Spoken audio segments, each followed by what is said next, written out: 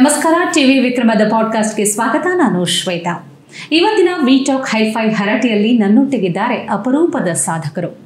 ಎಲ್ಲರೂ ಮಾಡೋದು ಹೊಟ್ಟೆಗಾಗಿ ಗೇಣು ಬಟ್ಟೆಗಾಗಿ ಅನ್ನೋ ಮಾತಿನಂತೆ ನಾವು ಜೀವನದಲ್ಲಿ ದುಡಿಯೋದು, ಸಂಪಾದಿಸೋದು ಒಂದು ನೆಮ್ಮದಿಯ ಜೀವನ, ಒಂದು ಆರೋಗ್ಯಯುತ ಆಹಾರ ಬೇಕು ಕಣ್ತುಂಬ ನಿದ್ರೆ ಬೇಕು, ನೆಮ್ಮದಿಯ ಬದುಕು ಬೇಕು ಅಂತ ಕೇಳ್ತೀವಿ. ಆದರೆ ಇತ್ತೀಚಿನ ದಿನಗಳಲ್ಲಿ ಎಲ್ಲರೂ ಕೂಡ ಬಹುಶಃ ಎಲ್ರಿಗೂ ಒಂದು ಆರೋಗ್ಯದ ಬಗ್ಗೆ, ಆರೋಗ್ಯ ಎಂಥ ಮಹಾಭಾಗ್ಯ ಅನ್ನೋದರ ಅರಿವಾಗ್ತಾ ಇದೆ.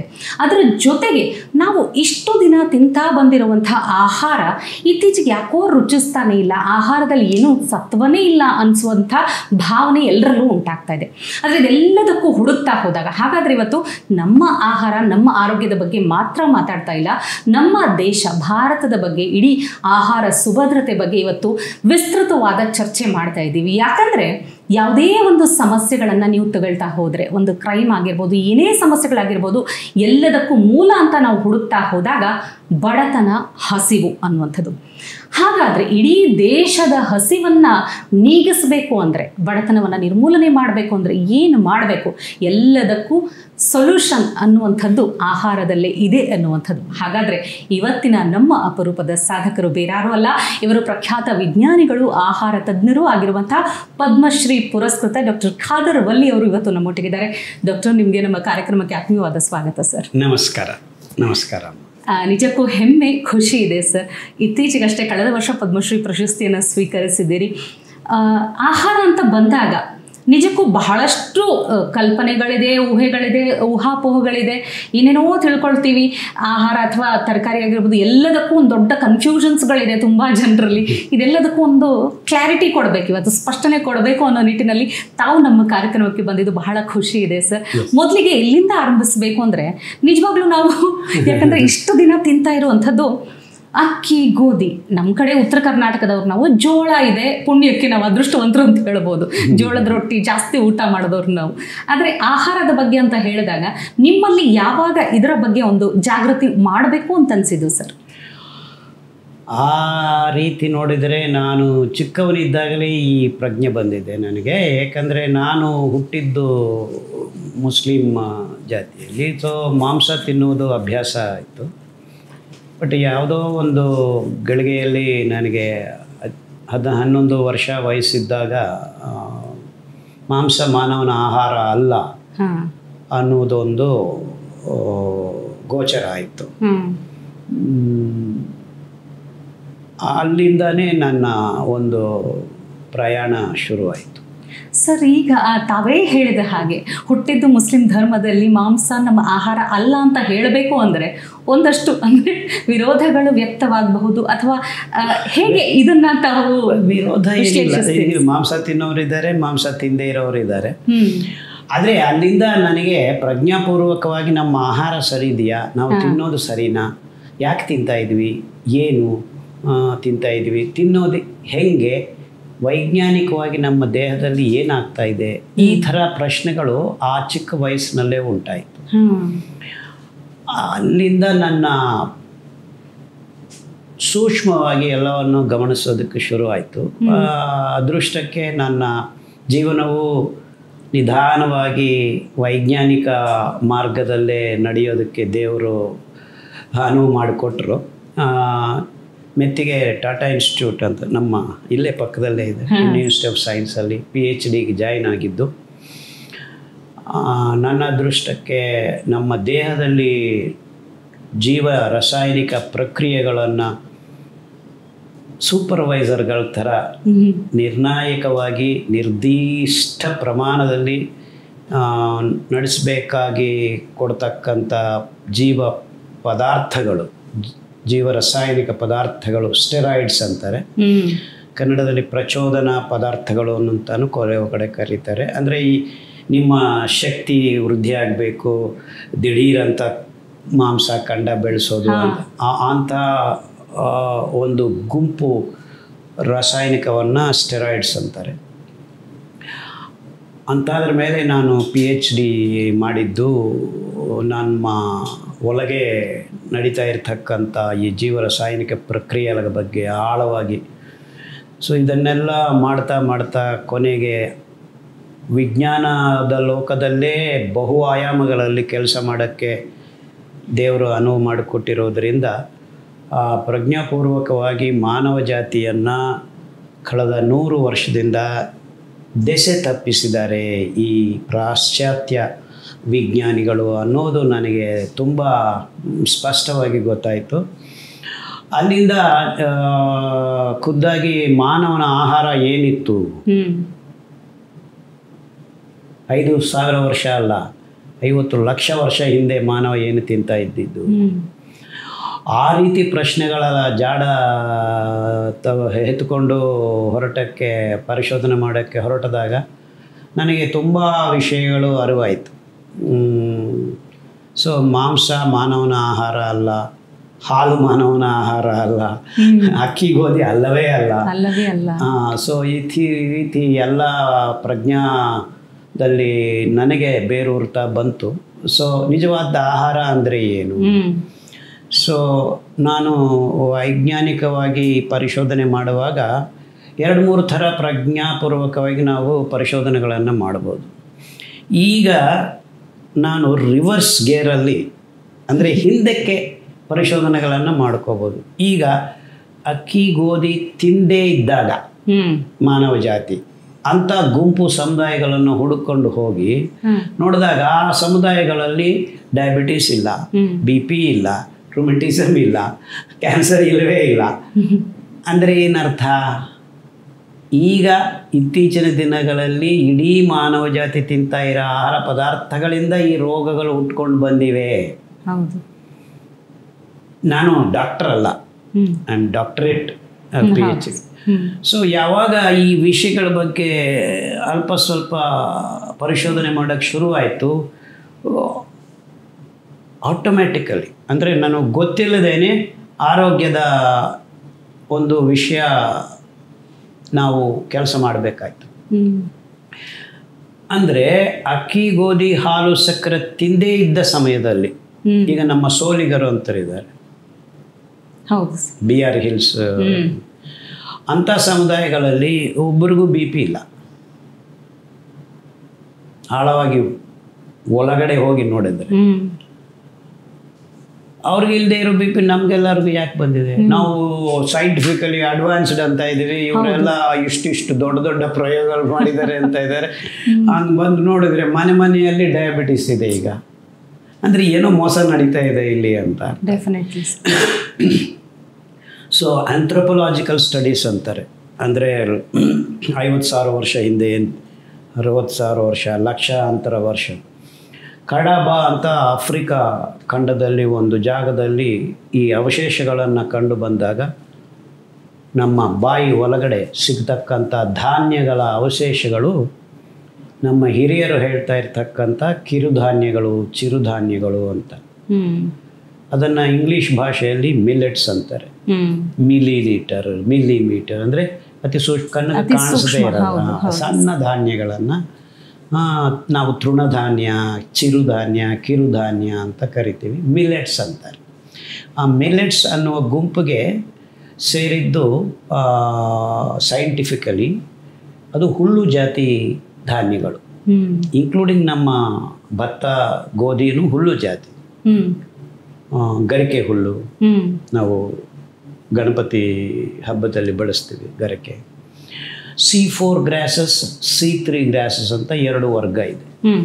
ಈ ಸಿ ತ್ರೀ ಗ್ರಾಸ್ ಅಂದರೆ ಈ ಭತ್ತ ಮತ್ತು ಗೋಧಿ ಹುಲ್ಲು. ಅದನ್ನು ಬೆಳೆಯೋದಕ್ಕೆ ನೀರು ಕಟ್ಟಬೇಕು ನೀರಿಲ್ಲದೆ ಅದನ್ನು ಬೆಳೆಯೋಕ್ಕಾಗೋದಿಲ್ಲ. ಅಂದರೆ ಎಲ್ಲಿ ತುಂಬ ಮಳೆ ಬರುತ್ತೋ ಕಣಿವೆಗಳಲ್ಲಿ ಎಲ್ಲಿ ಕೆರೆ ಗುಂಟೆ ದೊಡ್ಡ ದೊಡ್ಡ ತಾಲಾಬುಗಳು ಈ ಥರದ್ದು ಇದ್ದ ಜಾಗದಲ್ಲಿ ಮಾತ್ರ ಅದನ್ನು ಬೆಳೆಯೋಕ್ಕೆ ಸಾಧ್ಯ. ಆದರೆ ಸಿ ಫೋರ್ ಗ್ರಾಸಸ್ ಅಂತ ನವಣೆ ಸಾಮೆ ಆರ್ಕ ಕೊರ್ಲೆ ಊದಲು ಬರಗು ಜೋಳ ಸಜ್ಜೆ ಮೆಕ್ಕೆಜೋಳ ಇವೆಲ್ಲ ಸಿ ಫೋರ್ ಗ್ರಾಸ್ ನೀರಿಲ್ಲದೆ ಬೆಳೆಯುವಂಥದ್ದು.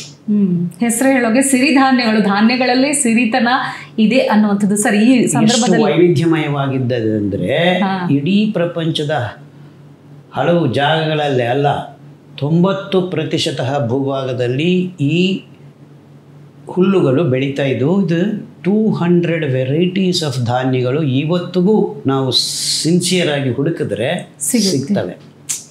ಆಫ್ರಿಕಾ ಖಂಡದಲ್ಲೂ ಇವತ್ತಿಗೂ ಆ ಬುಡಕಟ್ಟು ಜಾತಿಗಳಲ್ಲಿ ಇವತ್ತಿಗೂ ಈ ಧಾನ್ಯಗಳನ್ನು ಊಟ ಮಾಡ್ತಾ ಇದ್ದಾರೆ. ಟೆಫ್ ಅಂತ ಫೋನಿ ಮಿಲೆಟ್ಟು ಇನ್ನೂ ಬಗೆ ಬಗೆಯ ಹೆಸರುಗಳು ಅವರ ಭಾಷೆಯಲ್ಲಿ ಹೆಸರುಗಳು. ಈ ರೀತಿ ವೈವಿಧ್ಯಮಯವಾದ ಆಹಾರ ಧಾನ್ಯಗಳನ್ನು ಊಟ ಮಾಡ್ತಾ ಮಾನವ ಜಾತಿ ಸಾವಿರಾರು ವರ್ಷ ಜೀವನ ಮಾಡಿದೆ. ಆದರೆ ಈಗ ತಜ್ಞರು ಈ ಊಟ, ಆಹಾರ ಅಂತ ಹೇಳಿ ಸೋ ಕಾಲ್ಡ್ ಫುಡ್ ಸೈಂಟಿಸ್ಟ್ ಎಲ್ಲ ಬರೀ ಅಕ್ಕಿ, ಗೋಧಿ ಅಕ್ಕಿ ಗೋಧಿ ಅಕ್ಕಿ, ಗೋಧಿ ಮೇಲೆ ರಿಸರ್ಚ್ ಮಾಡ್ತಾ ಇದ್ದಾರೆ. ಅಂದರೆ ಮಾನವ ಜಾತಿ ಅನೇಕ ವರ್ಷಗಳಿಂದ ತರತರಾಂತರಗಳಿಂದ ತಿಂದಿದ್ದು ಅಕ್ಕಿ ಗೋಧಿ ಅಲ್ಲ. ಸರ್ ಸಮಸ್ಯೆ ಆಗಿರೋದಲ್ಲೇ ಈಗ ಎಂಬತ್ತು ತೊಂಬತ್ತರ ದಶಕದಲ್ಲಿ ಹುಟ್ಟಿದಂಥ ನಮ್ಮ ಒಂದು ಉದಾಹರಣೆಯನ್ನ ತೆಗೆದುಕೊಳ್ಳೋದಾದ್ರೆ ನಾವು ತುಂಬಾ ಹಿಂದಕ್ಕೆ ಹೋಗಿಲ್ಲ. ನಮ್ಮ ತಂದೆ ನಮ್ಮ ತಾತ ಇವ್ರು ಏನ್ ತಿಂತಾ ಇದ್ರು? ಇವರೆಲ್ಲ ತಿನ್ನೋದನ್ನೇ ನಾವು ತಿಂತಾ ಇದ್ದೀವಿ. ಯಾಕೆ ಈ ತರ ಆಗ್ತಾ ಇದೆ ಅಂತ ಪ್ರಶ್ನೆ. ಆದ್ರೆ ನಾವು ತುಂಬಾ ಹಿಂದಕ್ಕೆ ಹೋಗಿಲ್ಲ. ಅಲ್ಲಿ ಸಮಸ್ಯೆ ಆಗಿರೋದು. ಮೂಲ ಬೇರು ಗೊತ್ತಿಲ್ಲ. ಪರ್ಫೆಕ್ಟ್ ನೀವು ಹೇಳಿದ್ದು ಕೇಳಿದ ಪ್ರಶ್ನೆ ತುಂಬಾ ಚೆನ್ನಾಗಿದೆ. ನನಗೆ ನಿಮಗೆ ಪೂರ್ತಿ ವಿಮರ್ಶನ ಮತ್ತು ವಿಚಾರ ತಿಳಿಸೋದಕ್ಕೆ ತುಂಬ ಒಳ್ಳೆ ದಾರಿ ಮಾಡಿಕೊಟ್ಟಿದೆ. ಎಂಬತ್ತು ತೊಂಬತ್ತು ಆ ದಶಕಗಳಲ್ಲಿ ಶುರುವಾಗಿದ್ದು ನಮ್ಮ ದೇಶದಲ್ಲಿ ಈ ಗ್ರೀನ್ ರೆವಲ್ಯೂಷನ್ ಅಂತ ಹೇಳಿ ಬೀಜಗಳನ್ನು ಪೇಟೆಂಟ್ ಮಾಡಿ ಈ ಬೀಜಗಳನ್ನು ಬಳಸಿ ಈ ಗೊಬ್ಬರಗಳನ್ನು ಬಳಸಿ ಈ ಕ್ರಿಮಿ ಕೀಟ ಕಳೆನಾಶಕ ಪದಾರ್ಥಗಳನ್ನು ಬಳಸಿ ಅಂತ ಹೇಳಿ ಶುರು ಆಗಿದ್ದ ಆವಾಗ ಹೌದು ಅಲ್ಲಿ ತನಕ ನಿಮ್ಮ ತಾತ ಚಿಕ್ಕವರಿದ್ದಾಗ ತಿಂದಿದ್ದು ಇದಲ್ಲ.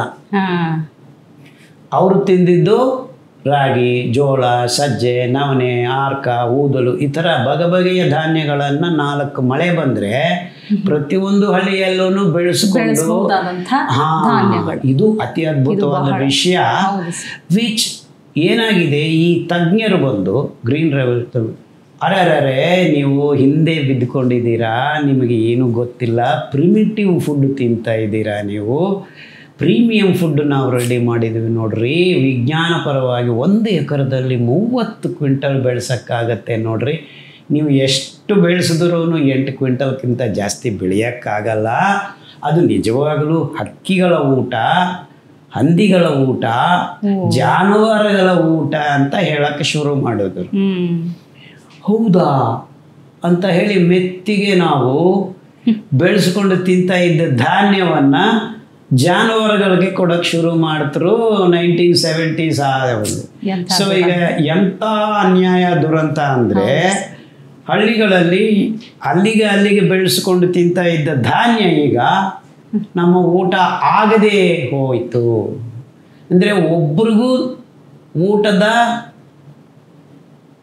ಕಡಿಮೆ ಇರಲಿಲ್ಲ. ಯಾರಿಗಾದ್ರೂ ಊಟ ಅವ್ರಿಗವ್ರು ಬೆಳೆಸ್ಕೊಂಡು ತಿಂತಕ್ಕಂಥ ಒಂದು ಪರಿಸ್ಥಿತಿ ಈಗ ಬದಲಾವಣೆ ಆಗೋಯ್ತು. ಯಾಕೆ ಬದಲಾವಣೆ ಆಗೋಯ್ತು? ಅದು ನಿಮ್ಮ ಊಟ ಅಲ್ಲ ಅಂತ ಹೇಳ್ಕೊಟ್ಟಿದ್ದೀವಿ. ಈ ವೈಜ್ಞಾನಿಕ ಒಂದು ವಿಚಾರಧಾರೆಯಿಂದ ಬರತಕ್ಕಂಥ ಒಂದು ಸ್ಟೇಟ್ಮೆಂಟು ಕಳೆದ ನಲವತ್ತು ಐವತ್ತು ವರ್ಷದಲ್ಲಿ ಪ್ರತಿಯೊಬ್ಬ ಮಾನವನ ಪ್ರಜ್ಞೆಯಲ್ಲಿ ಕೂರಿಸ್ಬಿಟ್ಟಿದ್ದಾರೆ. ಯಾರು? ಈ ಕಂಪನಿ ವ್ಯವಸ್ಥೆ. ಸೊ ಈಗ ನನಗೆ ಆ್ಯಕ್ಚುಲಿ ನಾವು ಆಳವಾಗಿ ಹಿಂದೆ ಹಿಂದೆ ಹಿಂದೆ ಹಿಂದೆ ಹಿಂದೆ ನಾಟ್ ಓನ್ಲಿ ಮನ ದೇಶ, ನಮ್ಮ ದೇಶದಲ್ಲೇ ಅಲ್ಲ, ನೀವು ಮೆಕ್ಸಿಕೋಗೆ ಹೋಗಿ, ಅಮೆರಿಕಕ್ಕೆ ಹೋಗಿ, ಯುರೋಪ್ ಖಂಡದಲ್ಲೂ ಎಲ್ಲರೂ ತಿಂತ ಇದ್ದಿದ್ದು ಸಾಮೆ, ನವಣೆ ಆರ್ಕ ಊದಲು, ಕೊರ್ಲು, ಈ ಧಾನ್ಯಗಳನ್ನಾನೇ. ಕೊಲರಾಡಲ್ಲಿ ಇವತ್ತಿಗೂ ನಮ್ಮ ಕೊರ್ಲೆಯನ್ನು ನಮ್ಮ ದೇಶದಷ್ಟು ಬೆಳೀತಾ ಇರೋ ದೇಶ ಅದು. ಆದರೆ ಈ ವೈಜ್ಞಾನಿಕ ಎಫ್ ಡಿ ಎ ಅಂತ ಒಂದು ಆರ್ಗನೈಸೇಷನ್ ಇದೆ ಅಮೆರಿಕಾದಲ್ಲಿ ಫುಡ್ ಆ್ಯಂಡ್ ಡ್ರಗ್ ಅನ್ನು. ಅವರು ಅದರ ಮೇಲೆ ಏನು ಬರೀತಾರೆ? ಸಂಚಿ ಮೇಲೆ ಇದು ಮಾನವನ ಆಹಾರ ಅಲ್ಲ. ನಾಟ್ ಫಾರ್ ಹ್ಯೂಮನ್ ಕನ್ಸಂಪ್ಷನ್ ಅವರು ವೈಜ್ಞಾನಿಕವಾಗಿ ತುಂಬ ಮುಂದುವರಿದಿರೋರು ಅಂತ ಹೇಳಿ ಅದನ್ನು ನೋಡಿ ನಮ್ಮ ದೇಶದ ತಜ್ಞರು ಅದನ್ನೇ ಹೇಳೋಕ್ಷ ಅಂದರೆ ಈಗ ಕೊರಲೆ ನಮ್ಮ ಊಟ ಅಲ್ಲ. ಹಾಗೆ ರಾಗಿ ಊಟ ಅಲ್ಲ, ಜೋಳ ಊಟ ಅಲ್ಲ, ಏನು ನಮ್ಮದಲ್ಲ ಈಗ ನಿಮ್ಮ ಊಟ ಯಾವುದಪ್ಪ ಅಂದರೆ ಅಕ್ಕಿ, ಗೋಧಿ. ನಿಮಗೆ ಬೆಳೆಯೋಕ್ಕಾಗತ್ತಾ ಉತ್ತರ ಕರ್ನಾಟಕದಲ್ಲಿ ಅಕ್ಕಿ ಗೋಧಿ ಬೆಳೆಯೋಕ್ಕಾಗಲ್ಲ. ಆಗಲ್ಲ ಆದರೆ ಡ್ಯಾಮ್ ಕಟ್ತೀವಿ ನೀರು ಕಟ್ತೀವಿ ನೋಡ್ರಿ ಪ್ರಗತಿ ನಿಮಗೆ ಒಂದು ಎಕರೆದಲ್ಲಿ. ಸೊ ನೀರು ಕಟ್ಟೋದು ಡ್ಯಾಮ್ ಕಟ್ಟೋದು ಇದೇ ಪ್ರಗತಿ ಅನ್ನೋ ಒಂದು ಬಿಂಬಿಸುವ ಮೂಲಕ ಎಲ್ಲ ಪೊಲಿಟೀಷಿಯನ್ಸು ಈ ಹಳ್ಳಕ್ಕೆ ಬಿದ್ದುಬಿಟ್ಟಿದೆ. ಸರ್ ಹಾಗಾದ್ರೆ ಈಗ ಸಿರಿಧಾನ್ಯಗಳು ಅಂತ ಅಂದಾಗ ಭಾರತೀಯ ಆಹಾರ ಮಾತ್ರ ಅಲ್ಲ ಇದು. ಪ್ರಪಂಚದಾದ್ಯಂತ ಬಳಸ್ತಾ ಇರುವಂತಹ ಈಗ ಜೀಸಸ್ ಕ್ರೈಸ್ಟ್ ಲಾಸ್ಟ್ ಸಪ್ಪರಲ್ಲಿ ತಿಂದಿದ್ದು ಅನ್ಲ್ಯಾವನ್ ಬ್ರೆಡ್ ಮಾಡಿದ್ದು ಕೊರಲೆ ಅಥವಾ ನವಣೆಯಿಂದ ಮಾಡಿದ್ದು ಆಹಾರ ಹ್ಮ್. ಮೊಹಮ್ಮದ್ ಪೈಗಂಬರ್ ಅವರು ಕುಡಿದಿದ್ದು ಊದಲ ಗಂಜಿ ನಮ್ಮ ವರಾಹಸ್ವಾಮಿ ತಿಂದಿದ್ದು ನವನೆ ಪಾಯಸ ಅವರೇ ಕೇಳ್ತಾರೆ, ಪ್ರಿಯಾಂಗು ಪಾಯಸ ಕೊಡಿ ಅಂತ. ಇವೆಲ್ಲ ನಮ್ಮ ಹಿಂದಿನ ಗ್ರಂಥಗಳಲ್ಲಿ ದಾಖಲಾತಿಗಳಿವೆ ನಮ್ಮ ಬೇಲೂರು ಹಲೆಬೀಡು ಶಿಲಾಬಾಲಿಕೆಗಳ ಕೈಯಲ್ಲಿರೋದು ಸಿರಿಧಾನ್ಯಗಳ ಒಂದು ತೆನೆಗಳು ಕಂಕಿಗಳು. ಸರಿ ಒಂದಂತೂ ಅರ್ಥ ಆಯ್ತು. ಈಗ ಸಿರಿಧಾನ್ಯಗಳು ಸಿರಿಧಾನ್ಯ ಅಂತ ಹೆಸರಿಟ್ಟಿದ್ದು ನಾನು. ನೀವೇ. ಯಾಕಂದ್ರೆ- ಮಿಲೆಟ್ ಮ್ಯಾನ್ ಅಂತ ಹೇಳಿ ಒಂದು ಬಿರುದನ್ನೇ ಪಡ್ಕೊಂಡಿರೋದು. ಮಿಲೆಟ್ ಮ್ಯಾನ್ ಅಂತ ಕರೀತಾರೆ. ಯಾಕಂದ್ರೆ ನಮ್ಮ ನಿಜವಾದ ಆಹಾರವನ್ನ ಈ ಕಂಪನಿಗಳು ನಮ್ಮನ್ನ ದಾರಿ ತಪ್ಪಿಸಿ ಅವೈಜ್ಞಾನಿಕವಾಗಿ ಮೋಸ ಮಾಡಿ ತಮ್ಮ ಪದಾರ್ಥಗಳನ್ನು ಮಾರಾಟ ಮಾಡಿಕೊಳ್ಳೋಕು ಮಾಡಿದ ಒಂದು ಷಡ್ಯಂತ್ರ ಹೊರತು ಬೇರೆ ಇನ್ನೇನೂ ಇಲ್ಲ. ಯಾಕಂದರೆ ಈ ಅಕ್ಕಿ ಗೋಧಿ ತಿನ್ನೋಕೆ ಶುರು ಮಾಡಿದ ಮೇಲೆ ನಮ್ಮ ದೇಶದಲ್ಲಿ ಈಗ ಕಳೆದ ಐವತ್ತು ವರ್ಷ ಅಂದರೆ ಐದು ದಶಕಗಳಲ್ಲಿ ಏನಾಗಿದೆ ಅಂದರೆ ನೂರಕ್ಕೆ ಮೂವತ್ತು ಜನ ಮಧುಮೇಹಿಗಳಾಗಿದ್ದಾರೆ. ನೂರಕ್ಕೆ ಮೂವತ್ತು ಜನ ಬಿ ಪಿ ಟ್ಯಾಬ್ಲೆಟ್ ತಗೋತಾರೆ. ನೂರಕ್ಕೆ ಮೂವತ್ತು ಜನ ಥೈರಾಯ್ಡ್ ಪೇಷಂಟ್ಸು ನೂರಕ್ಕೆ ಮೂವತ್ತು ಜನ ರೊಮೆಟಿಸಮ್ ಪೇಷಂಟ್ಸು ನೂರಕ್ಕೆ ಮೂವತ್ತು ಜನ ಸಿ ಕೆ ಡಿ ಅಂದರೆ ಕ್ರಾನಿಕ್ ಕಿಡ್ನಿ ಪ್ರಾಬ್ಲಮ್ಸು ನೂರಕ್ಕೆ ಮೂವತ್ತು ಜನ ಮೆಂಟಲಿ ಡಿಸ್ಟರ್ಬ್ಡು ನೂರಕ್ಕೆ ಮೂವತ್ತು ಜನ ಗರ್ಭಕೋಶದಲ್ಲಿ ಗಡ್ಡೆಗಳು ನೂರಕ್ಕೆ ಮೂವತ್ತು ಜನ ಈಗ ನಾನು ಎಂಟು ನೂರಕ್ಕೆ ಮೂವತ್ತು ಅಂದಿದ್ದೀನಿ ಇರೋದು ನೂರು ಜನನೇ. ಅಂದರೆ ಒಬ್ಬೊಬ್ಬರಿಗೆ ಒಂದು ರೋಗ ಅಲ್ಲ. ಎರಡು ಮೂರು ರೋಗಗಳು ಬಂದಿವೆ. ಇದರ ಅರ್ಥ ಏನು? ನಮ್ಮ ಊಟವನ್ನು ಕೆಡವಿದ್ದೀವಿ. ಹೌದು. ಅದರಿಂದ ರೋಗ ಬರ್ತಾ ಇದೆ ಅಂತ ಈ ತಜ್ಞರು ಬಾಯಿ ಬಿಡ್ತಾ ಇಲ್ಲ. ಸರ್ ಅದು ನಿಜ. ಅಂದ್ರೆ ಈಗ ಎಷ್ಟೊಂದು ಸ್ಪೆಷಾಲಿಟಿ ಆಸ್ಪತ್ರೆಗಳು ನೋಡ್ತೀವಿ ಐ ವಿ ಎಫ್ ಸೆಂಟರ್ಗಳು ನೋಡ್ತೀವಿ. ಅವರಿಗೆ ಸ್ಕ್ಯಾನ್ಗಳು ಟ್ಯಾಬ್ಲೆಟ್ಗಳು ಇದ್ರ ಮೇಲೆ ಅವರ ರಿಸರ್ಚ್ ಅರೆ ಯಾಕೆ ನಮಗೆ ಈ ರೋಗ ಬರ್ತಾ ಇದೆ? ಇಷ್ಟಾದರೆ ಸರಿ ಹೋಗ್ತಾ ಇರಲಿಲ್ಲಮ್ಮ. ಈಗ ನಮಗೆ ಮೋಸ ಆಗಿರೋದು ನಮ್ಮ ಹುಟ್ಟೋ ಮಕ್ಕಳಿಗೆ ಟೈಪ್ ಒನ್ ಡಯಾಬಿಟಿಸ್ ಅಂತ ನೂರಕ್ಕೆ ಆರು ಜನ ಎಂಟು ಜನಕ್ಕೆ ಶುರುವಾಗಿದೆ. ಆಗಿದೆ ನೂರಕ್ಕೆ ಆರು ಜನ ಹೃದಯದಲ್ಲಿ ರಂಧ್ರ ಇಟ್ಕೊಂಡು ಹುಟ್ಟುತ್ತಾ ಇದ್ದಾರೆ. ನೂರಕ್ಕಾರು ಜನ ವಿಕಲಾಂಗಲು ಹುಟ್ಟುತ್ತಾ ಇದ್ದಾರೆ. ನೂರಕ್ಕಾರು ಜನ ಮೆಂಟಲಿ ರಿಟಾರ್ಡೆಡ್ ಹುಟ್ಟುತ್ತಾ ಇದ್ದಾರೆ. ನೂರಕ್ಕಾರು ಜನಕ್ಕೆ A D H D cerebral palsy ಈಗ ನೋಡಿ ನಾನು ಮತ್ತೆ ಆರು ಸತಿ ಹೇಳಿದ್ದೀನಿ. ಆರು ಇಂಟು ಆರು ಮೂವತ್ತಾರು ಮಕ್ಕಳು ಡಿಸ್ಫಂಕ್ಷನಲ್ ಆಗಿ ಹುಟ್ಟಿಸ್ತಾ ಇದೆ ಅಂದರೆ ಬರೋ ಪೀಳಿಗೆಗಳು ಸಮೇತ ಅನಾರೋಗ್ಯಕ್ಕೆ ದಾರಿ ಮಾಡಿಕೊಟ್ಟಿರೋ ಒಂದು ಆಹಾರ ವ್ಯವಸ್ಥದ ಬಗ್ಗೆ ಯಾರೂ ಈ ತಜ್ಞರು ಮಾತಾಡೋಕ್ಕೆ ಮುಂದಕ್ಕೆ ಬರ್ತಾ ಇಲ್ಲ. ಸರ್, ಮತ್ತೊಂದು ಮೇಜರ್ ಸಮಸ್ಯೆ ಅಂದ್ರೆ ಈಗ ನಮ್ಮಂಥ ಸಾಮಾನ್ಯ ಜನರಿಗೆ ಒಂದು ಸ್ಟಾಲ್ ನೋಡಿದಾಗ, ಒಂದು ಸೂಪರ್ ಬಜಾರ್ಗೆ ಹೋದಾಗ ದೊಡ್ಡದಾಗಿ ನಮಗೆ ಅಕ್ಕಿ, ಗೋಧಿ ಇಷ್ಟು ದೊಡ್ಡ ಸ್ಟಾಲ್ಗಳು ಸಿಗುತ್ತೆ, ಎಷ್ಟೊಂದು ವೆರೈಟಿ ಸಿಗುತ್ತೆ ಅದರಲ್ಲೇ. ಅದೇ ಈಗ ನಾವು ಮಿಲೆಟ್ಸ್ ಅಂತ ನೋಡಿದಾಗ ಸಿರಿಧಾನ್ಯಗಳಂತ ಹುಡುಕಿದಾಗ ಒಂದು ಚಿಕ್ಕ ಕಡೆ ಇರುತ್ತೆ. ಇಲ್ಲಿ ಸಮಸ್ಯೆ ಅಂದ್ರೆ ಮೇಜರ್ ಫುಡ್ ಅದೇ ಅನ್ನುವಂಥದ್ದು ಎಲ್ಲಾ ಕಡೆಯಿಂದಲೂ ತಲೆಯಲ್ಲಿ ಫೀಡ್ ಮಾಡ್ತಾ ಇದ್ದಾರೆ ಈಗ ಐದು ವರ್ಷದಿಂದ ನಿಮಗೆ ಸಿರಿಧಾನ್ಯಗಳ ಹೆಸರು ಕೇಳಿ ಬರ್ತಾ ಇದೆ. ಅದಕ್ಕೆ ಮುಂಚೆ ಇರಲೇ ಇರಲಿಲ್ಲ. ಹೌದು. ನಾಮ ರೂಪಗಳು ಇಲ್ಲದೆ ನಿರ್ನಾಮ ಹಂತದಲ್ಲಿ ಇದ್ದ. ಈ ಸ್ಥಿತಿಯಿಂದ ನಿಜವಾದ ಆಹಾರ ಇದು. ಆಹಾರದ ನಿರ್ವಚನ ಏನು? ಈಗ ಯಾಕೆ ಅಕ್ಕಿ ಗೋಧಿ ನಮ್ಮ ಊಟ ಅಲ್ಲ ಅಂತ ಡಾಕ್ಟರ್ ಖಾದರ್ ಹೇಳ್ತಾರೆ? ಯಾಕಂದರೆ ನಮ್ಮ ಜೀವ ರಾಸಾಯನಿಕ ಪ್ರಕ್ರಿಯೆಗಳಲ್ಲಿ ಬಾಯಿಯಿಂದ ಗುದದ್ವಾರ ತನಕ ಪಚನನಾಳದಲ್ಲಿ ಆ ಪಚನ ಕ್ರಿಯೆ ಪೂರ್ತಿ ಉದ್ದೇಶ ಏನಪ್ಪ? ರಕ್ತಕ್ಕೆ ಸಕ್ಕರೆಯನ್ನು ಸೇರಿಸೋದು. ಸಕ್ಕರೆ ಅಂದರೆ ಗ್ಲೂಕೋಸ್. ಆ ಗ್ಲೂಕೋಸನ್ನು ಯಾವ ರೀತಿ ಸೇರಿಸಬೇಕು? ಐದು ಗ್ರಾಮ್ಗಿಂತ ಜಾಸ್ತಿ ಆಗಬಾರ್ದು. ಆಗಬಾರ್ದು. ಆದರೆ ಏನಾಗತ್ತೆ? ನಿಮ್ಮ ರಕ್ತ ಮಂದ ಆಗತ್ತೆ. ಮಂದ ಆದರೆ ಏನಾಗತ್ತೆ? ನಿಮ್ಮ ಹೃದಯ ಬಡತ ಹೆಚ್ಚಾಗುತ್ತೆ. ಹೆಚ್ಚು. ಅಂದರೆ ಬಿ ಪಿ ರೋಗ ಶುರು ಆಗುತ್ತೆ ಸೊ ಆ ಬಿ ಪಿ ರೋಗ ಬರಬಾರದು ಅಂತ ನಿಮ್ಮ ಅಂಗಾಂಗಗಳು ಏನು ಮಾಡ್ತಾ ಇವೆ? ಆ ಗ್ಲೂಕೋಸನ್ನು ಕೊಲೆಸ್ಟ್ರಾಲ್ ಆಗಿ ರೈಡ್ಸ್ ಆಗಿ ರುಮೆಟಿಸಮ್ ಆದರೆ ಕೊಬ್ಬಾಗಿ ಎಲ್ಲರೂ ಊದ್ಕೊಳ್ಳೋಕೆ ಶುರು ಮಾಡೋದು. ಈ ಈಗ ಕಳೆದ ನಲವತ್ತು ವರ್ಷದಲ್ಲಿ ಊಬಕಾಯ ಅನ್ನೋ ರೋಗ ಒಂದು ಹುಟ್ಕೊಂಡು ಬಡ್ತು ನಲವತ್ತು ವರ್ಷ ಹಿಂದೆ ಊಬಕಾಯರು ಇರಲೇ ಇರಲಿಲ್ಲ. ಎಲ್ಲರೂ ಜಿಂಕೆಗಳ ಥರ ಬುಡು ಬುಡು ಬುಡು ಅಂತ ಓಡಾಡ್ತಾ ಇದ್ರು. ಈಗ ಐದಡಿ ಇದ್ದ ಹೆಂಗಸರು ನೂರು ಕೆ ಜಿ ತೂಗ್ತಾ ಇದ್ದಾರೆ. ಹ್ಮ್. ಇಡೀ ಮಾನವ ಜಾತಿಯಲ್ಲಿ ಏಳು ಅಡಿ ಉದ್ದ ಇದ್ರೂ ನೀವು ಎಪ್ಪತ್ತೈದು ಕೆ ಜಿಗಿಂತ ಜಾಸ್ತಿ ತೂಗಬಾರದು. ಇದು ಆರೋಗ್ಯವಂತ ಮಾನವನ ಒಂದು ಬಿ ಎಂ ಐ ಅಂತಾರೆ. ಹೌದು ಹೌದು. ಬಾಡಿ ಮಾಸ್ ಇಂಡೆಕ್ಸ್ ಇಂಡೆಕ್ಸ್ ಇಂಥದ್ರಲ್ಲಿ ಐದಡಿ ಉದ್ದ ಇದ್ದ ಹೆಂಗಸರು ನೂರು ಕೆ ಜಿ ತೂಗ್ತಾ ಇದ್ದಾರೆ ಅಂದರೆ ಎಷ್ಟು ಮೋಸ ಐದಡಿ ಯಾಕೆ ನಾಲ್ಕನೇ ಕ್ಲಾಸ್ ಓದ್ತಾ ಇರೋ ಹೌದು ಸರ್ ಹೆಣ್ಣುಮಕ್ಕಳು ಗಂಡು ಮಕ್ಕಳು ಈಗ ಅರವತ್ತು ಕೆ ಜಿ ತೂಗ್ತಾ ಇದ್ದಾರೆ. ಸೊ ಊಟದಲ್ಲೂ ತಪ್ಪಿದ್ದೀವಿ ಅಂತ ಹೇಳೋರು ಯಾರೂ ಬರ್ತಾ ಇಲ್ಲ ಅದೇ ನೀವು ಮಿಲೆಟ್ಸನ್ನು ಇಂಥವ್ರಿಗೆ ಊಟ ಮಾಡ್ಸೋಕ್ಕೆ ಶುರು ಮಾಡಿ ಈ ಇಲ್ಲೇ ಪ್ರಯೋಗಗಳು ಮಾಡಿದ್ವಿ ನಾವು ಕಳೆದ ಮೂವತ್ತು ವರ್ಷದಿಂದ. ಬಗೆಬಗೆಯ ಮಿಲೆಟ್ಸ್ ಈಗ ನಿಮ್ಮ ಜಾಗದಲ್ಲಿ ಜೋಳ ಇನ್ನೂ ಉಳಿದಿದೆ. ಯಾಕಂದ್ರೆ ಅದು ನೇರವಾಗಿ ಬಳಸಬಹುದು. ಹೌದು. ನಮ್ಮ ಸಿರಿಧಾನ್ಯಗಳಲ್ಲಿ ಆರ್ಕ ನವಣೆ ಸಾಮೆ ಊದಲು ಬರಗು ಇವೆಲ್ಲ ಮೇಲೆ ಚಿಲ್ಕ ಇರುತ್ತೆ. ಅಂದರೆ ಹೊಟ್ಟು ತೆಗೆದ ಮೇಲೆ ನಾವು ತಿನ್ನಕ್ಕಾಗತ್ತೆ. ಇವನ್ನ ಅಕ್ಕಿಗಳು ಅಂತಾರೆ. ಸಾಮೆ ಅಕ್ಕಿ ನವಣೆ ಅಕ್ಕಿ ಆರ್ಕ ಅಕ್ಕಿ ಕೊರಲೆ ಅಕ್ಕಿ ಭತ್ತದ ಅಕ್ಕಿ ರಾಗಿ ಜೋಳ ಸಜ್ಜೆ ಮೆಕ್ಕೆಜೋಳ ಅದ್ರ ಮೇಲೆ ಹೊಟ್ಟು ಇರೋದಿಲ್ಲ. ಆ ಚಿಲ್ಕ ತೆಗಿಯ ಅಗತ್ಯ ಇಲ್ಲ. ಅದಕ್ಕೆ ಅದನ್ನ ಅಕ್ಕಿ ಅನ್ನಲ್ಲ ರಾಗಿ ಅಕ್ಕಿ ಅನ್ನಲ್ಲ ರಾಗಿ ಕಾಳು ಅಂತೀವಿ? ಅಥವಾ ಜೋಳದ ಕಾಳು ಅಂತೀವಿ. ಸೊ ಜೋಳ ರಾಗಿ ಸಜ್ಜೆ ನೇರವಾಗಿ ನಾವು ಹಿಟ್ಟು ಮಾಡಿಕೊಂಡು ಅಥವಾ ತಡಿ ಮಾಡಿಕೊಂಡು ಬಳಸ್ತೀವಿ. ಅದಕ್ಕೆ ಅವನ್ನು ಉಳಿದಿವೆ. ಯಾಕಂದ್ರೆ ಮಿಷಿನ್ಗಳು ಬೇಕಾಗಿಲ್ಲ.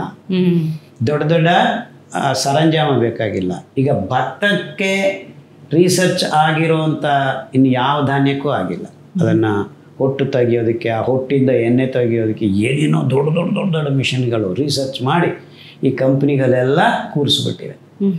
ಒಂದು ರಿಸರ್ಚ್ ಇನ್ಸ್ಟಿಟ್ಯೂಟು ನಮ್ಮ ದೇಶದಲ್ಲಾದ್ರಿ ಬೇರೆ ದೇಶಗಳಲ್ಲಾದ್ರಿ ಮಿಲೆಟ್ಸ್ ಮೇಲೆ ಇಲ್ಲ. ಈಗ ರೀಸೆಂಟಾಗಿ ಟೂ ತೌಸಂಡ್ ಸೆವೆಂಟೀನಲ್ಲಿ ರಾತ್ರೋರಾತ್ರಿ ಮಿಲೆಟ್ ರಿಸರ್ಚ್ ಇನ್ಸ್ಟಿಟ್ಯೂಟ್ ಅಂತ ಬಂದಿದೆ. ಅರ್ಥ ಆಗ್ತಾ ಇದೆಯಾ? ಷಡ್ಯಂತ್ರ ಮಾಡಿ ನಮ್ಮ ತಟ್ಟೆಗಳಿಂದ ನಮ್ಮ ಊಟವನ್ನು ತೆಗೆದುಬಿಟ್ಟಿದ್ದಾರೆ. ಇದು ಕಾರ್ಪೊರೇಟೈಸೇಷನ್ ಆಫ್ ಫುಡ್ ಅಂತ.